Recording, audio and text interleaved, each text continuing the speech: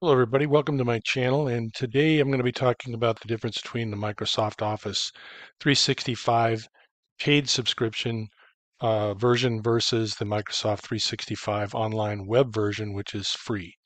The paid subscription version for the personal uh, version costs about $7 a month and entitles you to access to all of the latest versions of uh, PowerPoint, Excel, and Word and that happens automatically in the background. You don't have to install the software or do anything like that. So that's uh, kind of nice. Uh, the free version or the web online version uh, has a lot of useful features, but it doesn't have all of the features that the uh, 365 subscription version has.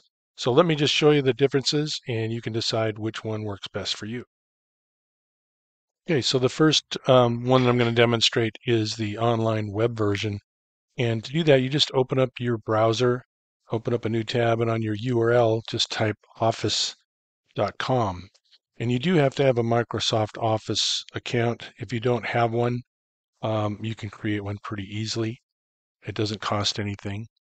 But once you do um, and you're logged in, it'll take you to this page, which is the Microsoft 365 web um, version of Microsoft Office 365. And you can choose the different applications on the left uh, menu bar here. And there's also an ellipsis so you can choose OneNote and Forms as well. Uh, but if, let's say, for instance, we're doing a Word document, we can click on Word and create a blank document. And this is what your menu options will look like.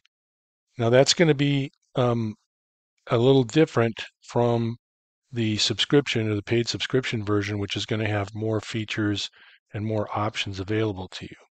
Now, to get to the paid version, of course, you have to purchase the subscription to 365 and then follow the instructions to install the applications on your desktop. Once you do that, when you click on the Start menu, you'll have icons for the different Office applications, or you can also type the um, like Word in the search bar there, and it'll bring up the Word application. You can open it from there. And then uh, that'll look like this, which is different than the web version that we just looked at. And again, if we click on a blank document, this is the menu that we'll get. Now we'll compare that to the menu that's available in the online version, and you can see there are some pretty significant differences. For one thing, we have additional tabs here that we uh, have options that we can choose from, like the Draw tab um, and the um, Design tab that give you more options and help you to create more professional looking documents.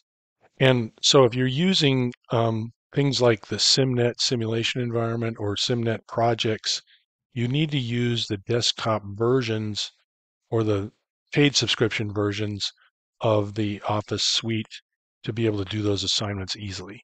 So that's this bottom one. And you get to that once again by clicking on the Start menu.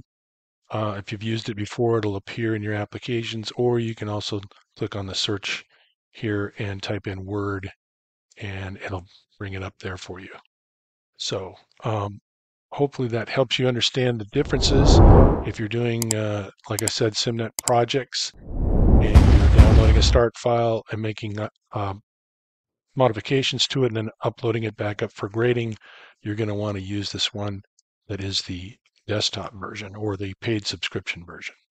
So hopefully that helps. And if you like this video, please uh, subscribe to my channel and thanks for watching.